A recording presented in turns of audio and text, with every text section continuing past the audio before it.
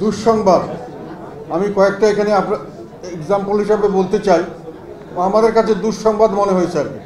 সেটা হলো একত্রিশে মার্চ একত্রিশে মার্চ এক এবং দুই তারিখের দুই তিনটে আমি হেডলাইন বলব আর কি।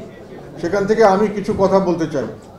সেটা হলো যে একত্রিশে মার্চে কয়েকটা পত্রিকা এসছে ইত্তেফাকে এসছে, দেড় লাখ ইলেক ইভিএম মেশিন আর কি। ইলেকট্রনিক ভোটিং মেশিনের মধ্যে এক লাখ দশ হাজার ইতিমধ্যে অকেজো হয়ে গেছে আর বাকি চল্লিশ হাজার অকেজো হওয়ার পথে। এগুলো পাঁচ বছরের মধ্যেই শেষ হয়ে যাচ্ছে। যদিও এদের কথা কথা ছিল দশ বছর পর্যন্ত এগুলো এই, থাকবে।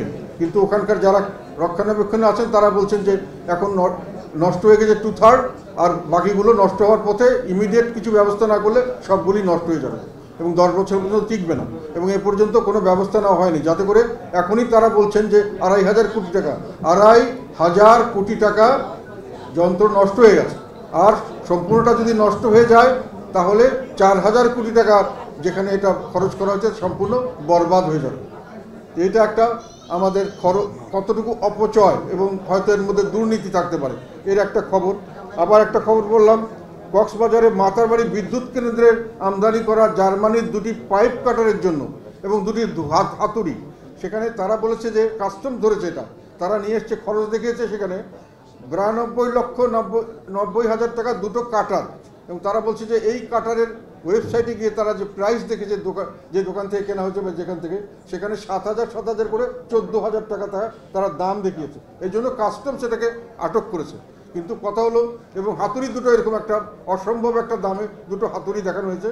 সেটা হলো এক লাখ বিরাশি হাজার টাকা দুটো হাতুড়ির দাম। তো সেখানেও বলা হয়েছে যে অনেক কম হওয়ার কথা। উনিশটি আইটেমই অনেক বেশি। মানে একশো পার্সেন্টের বা দুশো পার্সেন্ট না, হাজার হাজার পার্সেন্ট বেশি করে দাম দেখানো হয়েছে এবং এগুলো প্রজেক্টের জন্য কিনে আনা হয়েছে প্রজেক্টে ব্যবহার করা হবে এই দামেই এই জনগণকে এটা পয়সা দিয়ে কিনতে হবে। মানে আমাদের দেশের পাবলিকের টাকা এটা কেনা হবে। আরেকটা জিনিস আমার দৃষ্টি আকর্ষণ করেছে, এটা আবার পহেলা এপ্রিলের খবর। সেটা হলো দু, আমাদের নাগরিক মালয়েশিয়াতে সেকেন্ড হোম বলে একটা কথা আছে। মালয়েশিয়া মাই সেকেন্ড হোম এখানে দেখা যাচ্ছে যে বাংলাদেশের তিন হাজার ছয়শো চারজন বাংলাদেশি এখানে সেকেন্ড হোম নিয়েছেন এটা তারা অফিসিয়ালি মালয়েশিয়া থেকে ঘোষণা করা হয়েছে। এখন এখানে বাংলাদেশ ব্যাংক থেকে বলছে তারা সতেরোটা কোম্পানিকে এই মালয়েশিয়াতে ইনভেস্ট করার জন্য পারমিশন দিয়েছে। আর আগস্ট মাসে, গত আগস্ট মাসে আর পাঁচটাকে দিয়েছে, আর কাউকে দেওয়া হয়নি। এগুলোকে কোনো অনুমতি দেওয়া হয়নি। তো ধারণা করছেন মানুষে যে এগুলো প্রচুর যারা গেছেন, বেশিরভাগই বেশিরভাগই অবৈধ অর্থ এবং ডেফিনেটলি অবৈধভাবে পাচার করে নেওয়া হয়েছে। তো এটাও একটা দুর্নীতির খবর এবং সেই এর সঙ্গে আরও কয়েক দুটি তিনটি খবর আপনাদেরকে আমি পড়ে শোনাই। সেটা হলো যে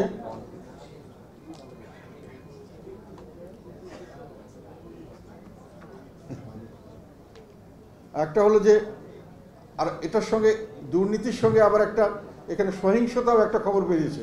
সেটা হলো কক্সবাজারের উখিয়ায় রাজা পলং ইউনিয়নের হরিণমারা এলাকায় পাহাড় রক্ষার অভিযান চালাতে গিয়ে একজন পাচারকারী ডাম্পারের মিনি ট্রাক চাপায় খুন হয়েছে বনবিট কর্মকর্তা সাজ্জাদুজ্জামান। তিরিশ বছর বয়স, কিছুদিন আগে বিয়ে করেছেন একটি মেয়ে সন্তানের জন্য তাকে মেরে ফেলা হয়েছে কেননা উনি পাহাড় কাটা অবৈধ কাজে বাধা দিতে গেছেন।